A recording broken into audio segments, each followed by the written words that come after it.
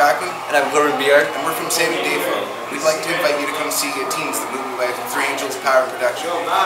In the movie, you'll hear some of our some of our tracks we recorded, and even, uh, and even a cameo by myself.